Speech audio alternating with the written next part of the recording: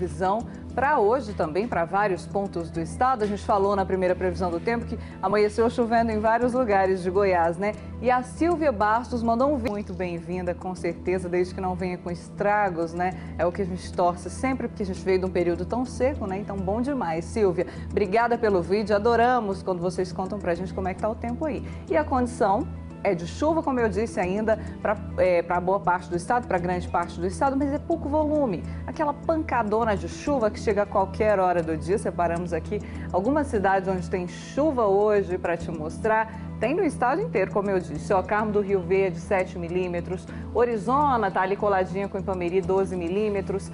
Campo Alegre, 9 milímetros. Cristalina está ali também coladinha ali com Brasília, 16 milímetros. Então a gente tem chuva para várias regiões do estado. Separamos outras cidades onde tem chuva também hoje para mostrar para você. Para Pir do Rio tem 31 graus de máxima e tem chuva também, tem chuva para todo mundo. E o goianiense, hein, gente? O pessoal que está por aqui também está sempre de olho no céu. Murilo mandou para a gente uma foto. Continua, hein? Aquela nossa amizade ali, aquele nosso hábito de você contar para a gente todos os dias como que está começando aí o seu dia, assim, como está começando essa semana que está com cara de segunda, como Todo a gente já mundo brincou. voltando ativa hoje. Essa meninada que foi para aula hoje deve ter sido, mamãe, deixa eu dormir mais cinco Com essa minutos. chuvinha, hein?